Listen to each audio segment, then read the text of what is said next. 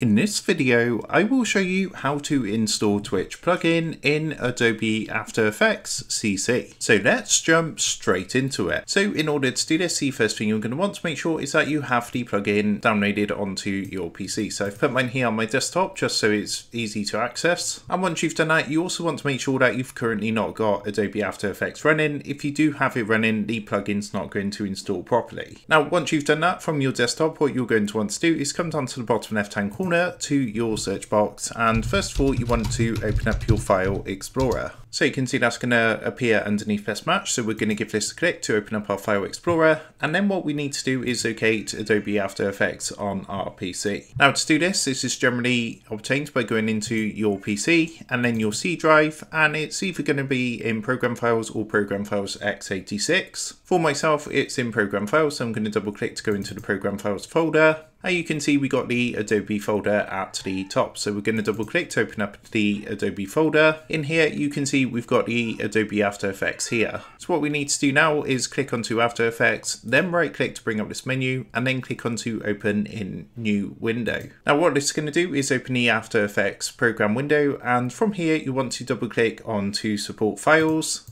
then what you need to do is come down to the plugins folder, double click to go into the plugins folder, and what you need to do is copy and paste the Twitch plugin into here. So you can see I've already done that, so that's ready to go. Now once you've done that, what you can do is just go ahead and open up Adobe After Effects on your PC. So we're just going to give that a minute to run through and open up. Once After Effects is opened, what you want to do is come to this panel on the right hand side and click onto Effects and Presets. Then what you want to do is click onto this magnifying glass box that comes up and the Twitch plugin is underneath the Video Copilot option just down here. So you want to give this a click and you're going to find your Twitch plugin in here. So that is how to install the Twitch plugin in Adobe After Effects CC. With that being said, I hope this quick tutorial did help you out today. And if this did help you out, I would really appreciate it if you was to consider dropping down below the video, leaving a like, and also subscribing to the channel. With that being said, I just want to take a minute thank you guys for watching this